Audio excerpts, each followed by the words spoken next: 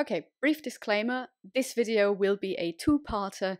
We will deal with broadcasting, mass medium, and television, mostly in a historic context. And the second uh, video that I will be uploading will deal with the question of the regulation of television by various examples. So please make sure to watch both videos because we will definitely talk about both of them in a way. I also don't know how long they'll be, but unfortunately, I presume they will be very long. So um, I apologize in advance, to be fair.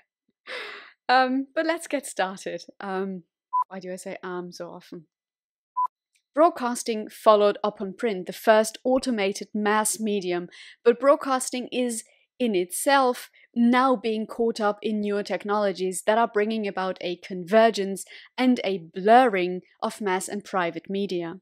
Before offering an account of the past 80 years of the history of broadcasting, we need to isolate the distinctive characteristics and functions of broadcasting by locating it within the broader history of mass communication. We might begin with a pretty simple definition of mass communication the sending of messages to a multitude of receivers. Its original mode was live, in the sense that receivers were in the presence of the sender, that is, within hearing or seeing distance. And usually in a space which, needing to be large enough to accommodate both parties, was most likely public. In these circumstances, mass communication was inevitably a kind of performance. So we might term this public space a theatre, even though it could accommodate almost any kind of message, be it political speeches, philosophical debates, religious rituals, educational lectures, storytellings, factual reports, spectator sports, or circuses, as well as the, of course, more conventionally theatrical kinds of performance, such as drama or light entertainment. In fact, if we look at a history of media as a whole, we can separate three more or less distinct phases. The first phase and primary media phase is basically just that. It is face to face communication without any technological support. It is men and media, basically, body dependent and effective only through voice and body language in public forums. The channel would be preachers, storytellers, poets, etc., etc. Before the advent of lit- of literacy, yeah, well, before the advent of printing, literacy was very rare, and poetry's inherent acoustic features, for instance, of rhythm, of rhyme, suggests that it was intended to be recited to a number of listeners rather than silently read to oneself. This is also the case for theatre performances, which is why that most people will tell you it is better to watch a Shakespeare play instead of just reading it. In this phase, knowledge as well as stories aren't written down, they are orally transmitted and distributed, which is also why knowledges become lost because they cannot be fixed in time and in space. This is something that changes with the second phase or the secondary media phase. So, for several thousand years, writing had provided a way of fixing speech, of taking human utterances out of its natural, constantly dissolving element that is time and putting it into space where it could remain permanently accessible. What print did was to turn writing into a mass medium by allowing an indefinite number of copies of an utterance to be made. This secondary phase also means that technical help, while introduced, was mostly with sign production, not so much with sign recipients. So while printing helped the distribution and the fixing of knowledge, it did not help with literacy in that sense. Of course, writing existed well beforehand, but the technical means that were used, be it paper, ink, pens, etc., were definitely inferior to the printing press, which allowed utterances to be transmitted from the few to the many. And this secondary phase basically shows that media can be industrialized and is industrialized. Moreover, the massification entails the democratization of the product, to which it is applied in the sense of widening popular access to it. It is not just, perhaps not even primarily the case that mass production meets in a pre existing mass demand. Rather, that in order to justify itself economically, it must increase demand. And it was the arrival of print which was to prompt the growth of mass literacy. Because being a mass medium and being perceived or read by many actually depends on mass literacy. However, the need to read did not require the need to write, but in creating numberless copies of its written messages, print differed from the earlier mass medium of theatre by introducing a gap in time and space between the senders and the receivers. A public, live medium was superseded by a private, lifeless one whose receivers could withdraw into their own separate environments. A paradox thus arose which applied not only to print, but to most subsequent modes of mass communication, and which terms like mass and broadcasting in a way belie. For a while, these modes have enormously increased the size of an audience, but they have also atomized it, meaning they reduced it to small groups or isolated individuals who read or listen or watch in their own private spaces. The secondary phase is followed by the tertiary media phase, or the third phase that we will look at. In this phase, the person is not just sender, but also the receiver. And both sender and receiver require technical equipment in order to decipher the messages and in order to send the messages. It also goes hand in hand with increased commercialization. And the earliest developments we see in this tertiary media phase is photography and cinematography. The latter was a public medium in the sense that its audiences gathered in theaters. Although individual cinema audiences were no larger than theatrical audiences, film was much more of a mass medium than theatre, because the number of cinemas in which it was possible to show copies of a single film far extended the number of theatres which it was possible to tour a single dramatic performance. However, broadcasting was the first genuinely live mass medium since theatre because it was instantaneous. Its messages were received by its audience at the very moment they were sent. They were not fixed messages in the form of printed texts. From 1922, radio transmitted live sounds to a private domestic audience, and from 1936, television provided the same kind of audience with a live sound and with moving pictures. As in the case of print, the economic logic to all of these communications and technologies was to maximize their audiences. And to this end, they resorted wherever possible to the modes of mass production. We could end the history of mass media right here, but I would propose that there is a fourth phase we could add to the history of mass media. And that fourth phase poses not only ever increasing commercialization, but also breaks up the sender receiver dyad as senders become receivers and receivers become senders themselves. However, I will not go into much detail concerning this fourth phase. However, what I've just introduced is, of course, just a brief history of media, but it's not a history of broadcasting, so let's turn to broadcasting itself. And here I'm, of course, referring to British broadcasting in particular. British broadcasting, as we know it, basically starts bang in the 1920s with the founding of the BBC in 1922. It brought with it a fair share of problems or difficulties, more likely, but also a number of advantages. On the latter point, the strangely privately public nature of broadcasting comes to mind. It is by hearing or watching events which are literally in public, such as major football matches, state funerals, or even general elections, that we gain a strong sense of participating in a collective and sometimes national experience. This helps to create a so called imagined community, in which we certainly do not know every member, but we are still united by a deep horizontal comradeship, and whereby national co fellows are sort of believed to constitute a bounded natural entity. This comradeship, as well as its life character, also brought with it a few problems, as Scannell notes, mostly in terms of behavior.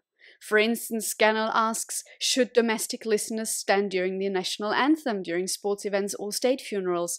Did a conscientious Catholic fulfill her obligation to attend Sunday Mass if she watched it on television? This is why scholars sometimes insist on speaking of radio and television as public rather than private media.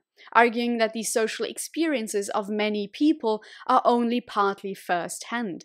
The remainder are derived through radio and television, allowing them to form an affinity with other people whom they are physically separate from and may never even meet. It has also been suggested that because broadcasting both domesticates the public sphere and socializes the private one, that it is neither public nor private in the traditional sense. Anyways, after that brief excursus, back to the 1920s.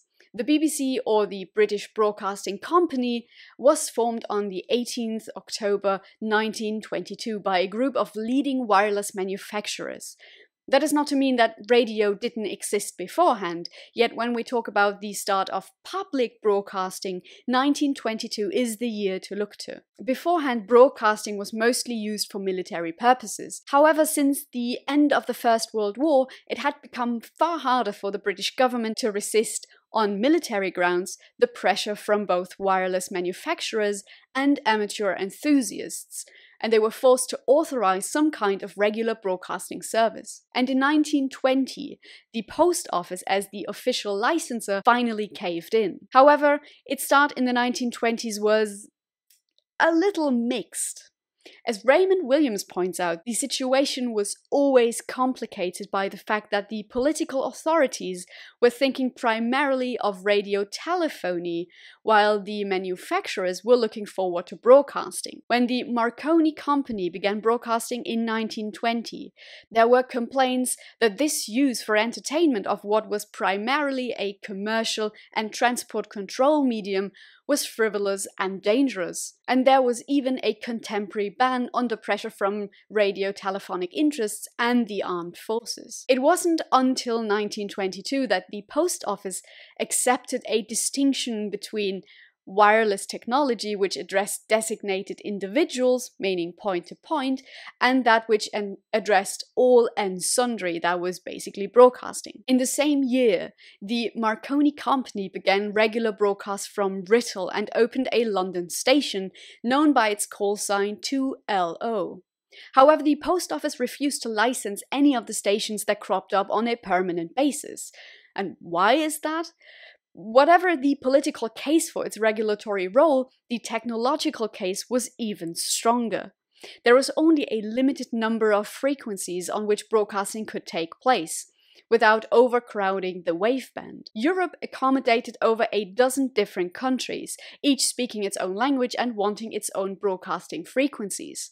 As the mere offshore island of this cacophonic subcontinent, Britain would have to content itself with a very limited share of the waveband.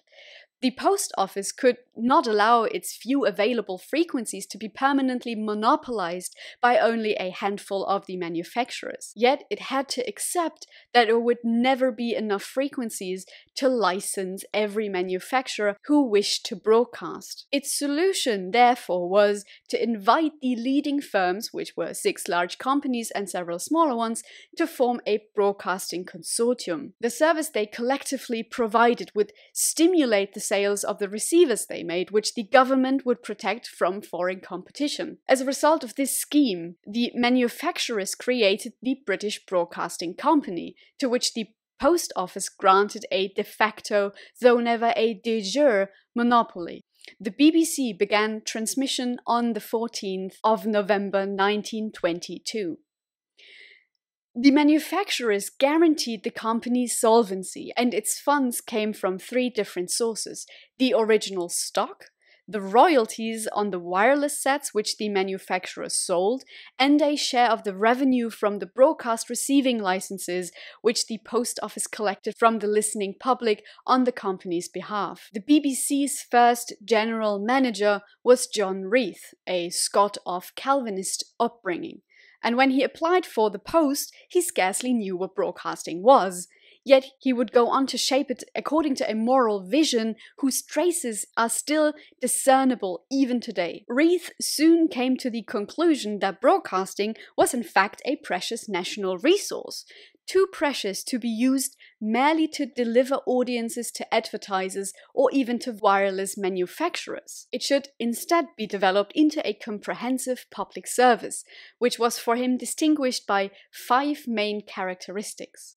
The first one was that it was aimed to broadcast to everyone in the country who wished to listen. The second, that it sought to maintain high standards to provide the best of everything. To achieve these two things, the public service system needed to, three, operate as a monopoly because competition would force it to abandon quality programs for minorities and simply seek to maximize its audience. Four, be funded by a license fee in order to ensure that the costs of the programs were not related to audience size, both as an alternative to advertising revenue and as a sort of tax raised for a specific purpose. The license fee also allowed the system to achieve another aim alongside universality of provision and high standards of content. Because, five, it needed to be institutionally and editorially independent of commercial pressures on the one hand and, as far as possible, government influence on the other. The British Broadcasting Company already possessed some of the characteristics of the public corporation when Reith joined in 1922, perhaps because the government sensed straight away that broadcasting would be a cultural entity like public libraries or adult education classes. Wireless enthusiasts, and it was hoped the wider public, wanted a regular broadcasting service. But what should it consist of? The broadcasters were confronted, so to speak, with a blank sheet of paper. This new medium transmitted live sound, but not vision, to multitudes of separate, mostly domesticated individuals. But what could it do and what should it avoid? In its attempts to do news, drama, light entertainment, and talk, it instinctively fell back on traditional forms the newspaper, the stage, the lecture theatre yet not always appropriately, because even content which seemed well suited to it would need adaptation. For certain other things it attempted, such as sporting commentary, for instance, there were no precedents.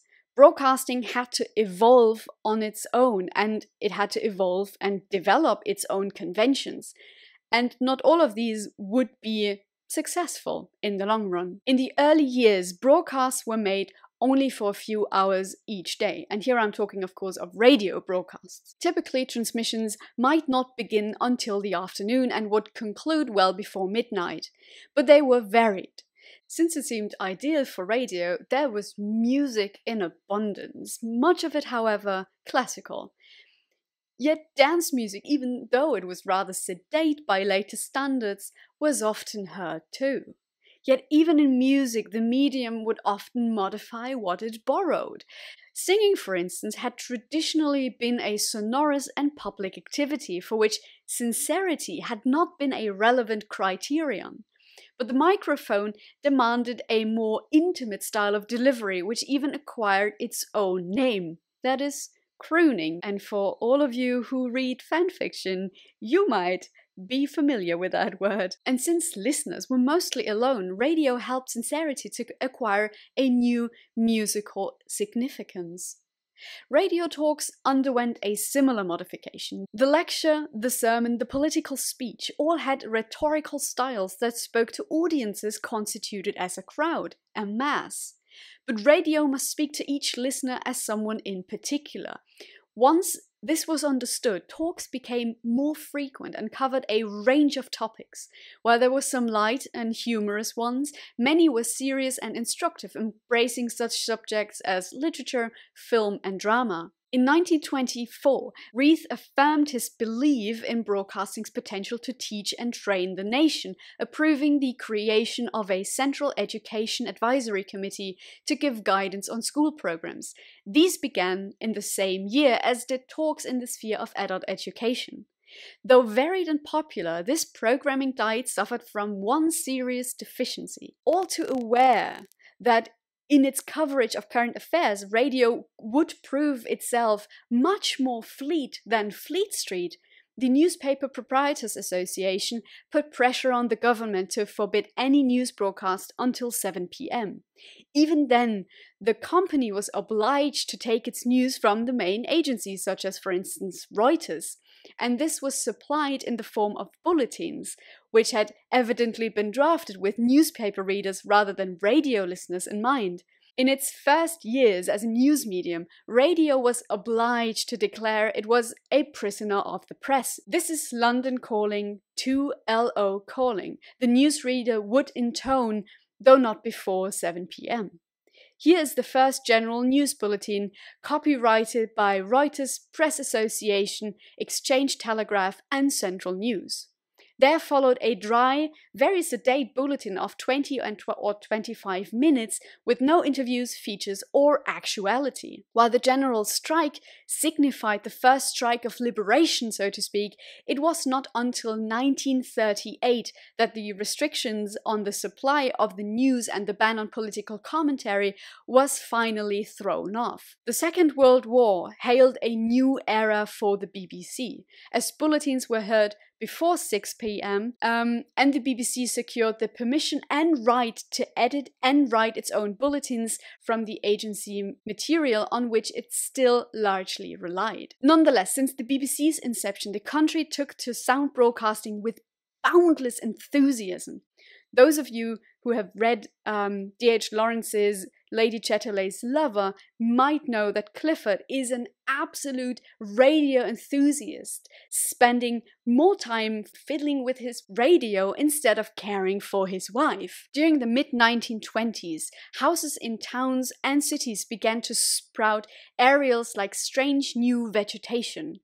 In 1923, the post office issued 80,000 licenses, but in 1924 these jumped up to a million, a figure which doubled over the next three years. By 1939, 9 million wireless receivers were under license. In the late 1920s, in 1927 to be precise, the British Broadcasting Company became the British Broadcasting Corporation, a publicly funded yet quasi autonomous organization whose constitution and obligations have remained largely unchanged since then. It was established by a royal charter, with a board of governors to whom Sir John Reith was accountable as Director General. Although the charter determines the corporation's structure, its activities are regulated by a license and agreement which are conferred by the government. It was and it is obliged to inform, to educate and to entertain, to report the proceedings of Parliament, to provide a political balance, and in a national emergency to broadcast government messages. It may neither editorialize nor carry advertising. This has, of course, changed over the past decades. However, back then, its income was mostly guaranteed from broadcast receiving licenses, and it strove to maintain a position of editorial independence, something which it still strives for today. However, it has never been entirely free from state pressure, of course. It is a public broadcasting company. Its license to broadcast has always been granted for fixed periods, never in perpetuity. The state appoints its board of governors, and the state, not the BBC, determines the cost of the receiving license, part of which it may actually withhold. Hence, throughout its history, the BBC's relations with governments of all political hues have always been delicate and occasionally absolutely strained. There were, of course, also other growing pains from personal dislikes between Reith and the Board of Governors to the rapid expansion of staff and its consequent change in relationship between them, to the persistent criticisms that the corporation was being rather undemocratic and elitist in its programming, to the way in which administrative and technical considerations could override editorial, creative, and even audience needs. The BBC, in its early days, struggled, even through its rapid expansion. The Second World War and its preceding years, however, crystallized a few turning points for the BBC. Turning points, for instance, like the first Royal Christmas Message in 1932, which constituted the auspicious start of a tradition that still persists to this very day. As well as, for instance, the radio rendering and coverage of George V's last illness, with John Reith himself coming to the microphone to announce the king's death. The royal funeral was also broadcast, and the abdication statement made 11 months later by the new king, Edward VIII, was much more compelling to listen to than to read. Moreover, 1934 saw the first successful demonstration of electronic television, to which Isaac Shoenberg only noted, Well, gentlemen, you have now invented the biggest time waster of all time. Use it well. That is not to mean that television simply suddenly came into being in the 1930s. Development on television had already started alongside radio in the 1920s, with the first television set, the Octagon, being made in 1928. From then on, development continued. However, it was in 1936 that the BBC's television service opened, a development that was completely halted by the outbreak of the war in 1939. According to Roy Armes, however, it was not the first regular TV service in the world. The Germans had actually begun theirs in March 1935, but since the latter was only transmitting 180 line pictures, the BBC could nonetheless secure the spot as the first broadcaster in the world to provide a regular, high definition television service. While the BBC had gained importance in the pre war years, the war cemented its leading role as a public broadcasting service and as an important cultural and social institution in Britain. To keep up the spirits of the British and their allies, as well as those of the people of occupied Europe, broadcasting became a patriotic duty and even a human imperative. As such, the BBC saw fundamental changes in program making practice, for instance, by live reporting from battle scenes, and it became a fundamental source of propaganda news to the free world. After the war, radio still took precedence over TV. In fact, between 1945 and about 1960, BBC Radio enjoyed what was probably its greatest era. Television, in comparison, was viewed with more let's call it ambiguity. An ambiguity that television, both as a set and in terms of programming, in a way reflected. On the one hand, because it was a new, expensive, and not altogether reliable medium, there was a tendency to regard it as frivolous, a toy for the rich. As Stuart Hood puts it, Pre war television was aimed at a small and affluent audience in London and the home counties, which had not been affected by the depression and mass unemployment. In the southeast, prosperity based on the boom in building and light industry and in consumer goods like refrigerators and radios and the car industry financed the purchase of sets. The programs the viewers wanted were dominated by the concept of the West End show of the revenue and the kind of entertainment which was the middle class audience's idea of a night out. Television broadcasting resumed in 1946, initially to about 15,000 households, bolstered by a new combined radio and TV license, priced £2 back then, the service began to grow. In 1949, it was extended to the West Midlands, and in 1951 to Manchester, and in the following year to parts of Scotland, Wales, and the West. By 1954, the BBC was broadcasting about six hours of television a day, most of it back then live.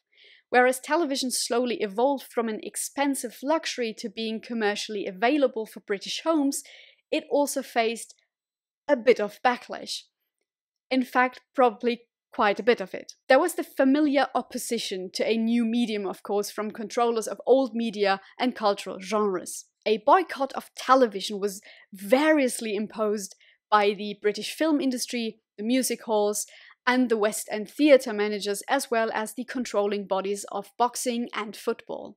But the more pressing problems came from within the BBC, because for some time there was little understanding within the BBC of television's potential. Indeed, it is very hard to avoid the conclusion that during this period the corporation was basically in two minds about the medium. On the one hand, the BBC was the monopoly broadcaster and it felt that it should naturally assume responsibility for what was a new kind of broadcasting. On the other hand, however, as a culturally conservative body, the BBC did not really warm to its task. And Grace Wyndham Goldie describes the broadcaster's dilemma as such. She says their speciality was the use of words. They had no knowledge of how to present either entertainment or information in vision, nor any experience of handling visual material. Moreover, most of them distrusted the visual. They associated vision with the movies and the music hall, and they were afraid that the high purposes of the corporation would be trivialized by the influence of those concerned with what could be transmitted in visual terms. The post war Director General William Haley shared that misunderstanding and dislike of television, which had also characterized his predecessor John Reith. Just as before the war, Reith had thought of integrating radio and television, Haley insisted in 1949 that television was merely an extension to sound broadcasting, and that television and radio were actually sides of the same coin. We, with hindsight, of course, know that radio's success story eventually ends and that television expands and prevails. And some scholars cite the coronation of Queen Elizabeth II in 1953 as the inciting incident that would propel television into the upper echelons of mass media. The coronation is, and I quote, widely regarded as having been the first ever media event, in the sense that although not created or prompted by television, it seemed tailor made for the medium and was the first event to be watched and enjoyed in many parts of the world. It was recorded as it was televised, and the films were then flown for rapid rebroadcasting to Canada, the United States, and elsewhere. The BBC's coverage, for which it gained permission only after delicate negotiations with both the church and the state, was impressive even by today's standards. Beginning with the service in Westminster Abbey, on which a hushed, reverential commentary was supplied, it continued with the procession to Buckingham Palace, which was covered by cameras at every vantage point along the way, and by a slew of commentators. Some 56% of the nation watched the service, with 53% watching the procession. In of itself, the coronation prompted an increase in the sales of television sets. And in 1953 was the first year in which more television than radio sets were actually manufactured. However, the coronation simply hastened along a trend that had been ongoing before. In 1951, nearly three quarters of a million television licenses were issued. And in 1955, viewing began to exceed listening for the first time, and, and by 1958, 9 million licenses were held. Notably, the post war years lauded a new era for the BBC, and not all of these developments were necessarily positive for the BBC. The Beveridge Report of 1949 and 90, uh, to 1951 noted that though waveband scarcity affected radio and television, it could nonetheless accommodate two national competitors for the BBC, because before that, the BBC held the absolute monopoly on broadcasting whatsoever. While the monopoly of the BBC was still recommended in the Beveridge Report, it was not without criticisms and safeguards were also similarly recommended to be introduced. The report also opposed the introduction of advertising into the BBC's programs. However, the report was unfortunately made more or less redundant by the incoming Conservative government. Yet it had still an influence on the BBC because it alerted the BBC of the danger of advertising and its potential influence on programming, and it disapproved of the Londonization of the BBC, a focal point that, for instance, ITV, one of the uh, BBC's first competitors, used as an inspiration for their more regional structure and setup. Another threat to the BBC's monopoly was the renewal of the process of, of, democratization that had been gathering pace before the war, a movement that proclaimed to let the people decide for themselves in terms of broadcasting and programming. And Briggs points out that in its evidence to Beveridge, the Incorporated Society of Advertisers had suggested that it might be advisable to have a network which the public did not associate with a semi official service. But criticism also came from within. A former Director General noted that freedom is choice and monopoly of broadcasting is inevitably the negation of freedom, no matter how efficiently it is run. There was a growing democratic revulsion against someone else knowing best, and people started to crave diversity and choice. And the third and least obvious challenge to the monopoly, yet perhaps the most powerful, was economic in nature. After the hardships of the war and the post war years, the nation was once again on the verge of prosperity. More goods were being made, and there was more money to buy them with. And with more economic power and affluence came the need to advertise these goods, advertisements that would be well suited for television and vice versa. By the mid 1950s, the BBC had changed their tune on advertisement and televised its first ad. What follows is a narrative of growth and expansion. From the 1950s onwards, television and broadcasting grew exponentially, with television's eventual ability to screen cinema films and to record its own material changing the way in which the medium was perceived. With this change in perception and an ever growing audience, programming similarly began to change. It had to change. Not only was screen time extended and an increasing proportion of the material that television was transmitting being pre recorded, but the programs itself transformed. On the one hand, pre recording meant that the aesthetic and narrative quality could be improved by editing, location usage, and different forms of assembling scenes. Moreover, pre recording afforded repetition of well liked programs, as well as the storage of programs. As a result of this, recorded programs also acquired the status of commodities or tradable goods. It was not just the old movie studios that could sell tailor made films to television, but TV broadcasters could buy and sell TV programs among themselves. Something else which helped to broaden the program base of British television. On the other hand, longer screen times meant that programs needed to adapt to that, for instance, by supplementing longer movies with serialized formats, some, if not most of which, still shape our TV landscapes today. Yet it is even today important to remind ourselves that television remains essentially live in the sense that reception is instantaneous with the transmission of even pre recorded content. Indeed, we may feel that the programs which best express the nature of the medium are actually those which are the least susceptible to pre recording, whose value depends on their up to dateness or topicality that is news, even though it usually contains film sequences, uh, current affairs, or outside broadcasts, especially those of sport.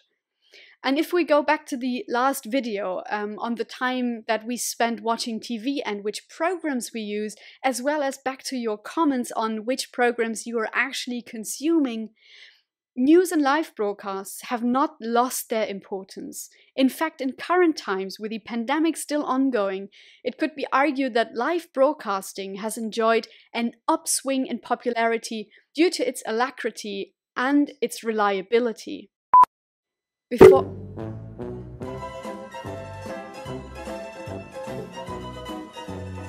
Do not touch the microphone. First rule of pre-recording.